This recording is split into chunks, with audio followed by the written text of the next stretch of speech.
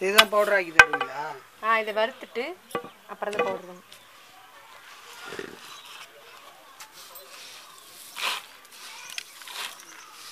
வறுத்தத்தை பவுடராங்க smell வருது பற்றியா coffee smell